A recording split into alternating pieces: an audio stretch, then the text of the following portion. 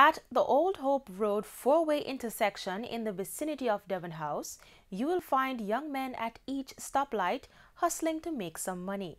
These young men would jump at any opportunity to wipe a car windscreen despite being told no by many drivers. Their determination to continue, though being rejected, often bears little reward. In most cases, this is their only job. Getting there as early as 6 a.m., they sometimes make between $1,500 and $2,000 a day. They blame society and the government for them not being able to find jobs elsewhere.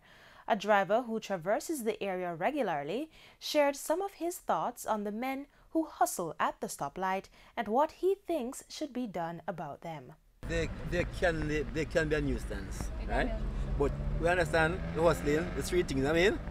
You think the government should remove them off the street? Of course, they are young men find a trade, you know, find them a trade center or something. It's very important to get them off the street because these young men will eventually become criminal.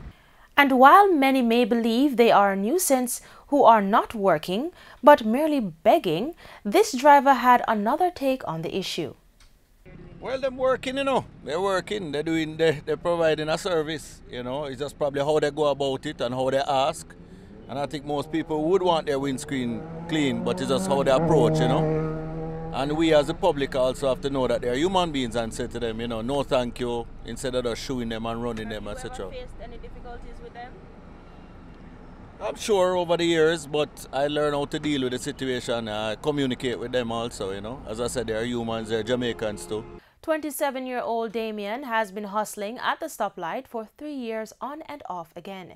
When he finally got employed at a construction site, he received injuries to his hand, which left him unable to continue working. Damien returned to the streets. He shared some of the dangers he has encountered while working. Last time, I out here wiping a, a man and through the window tilt up, I never see him. Say no, come out of the car and tell me some bad word. You see, so I tell him bad, bad word. You understand? Because I never greet him with no bad word. You understand? And he must say, that. Someone who so dead out here and them thing, they hear that. Because we don't know who is who and where. We don't come out here for freely know who is who. We come out here for us. So we not this nobody if nobody not this way. You know.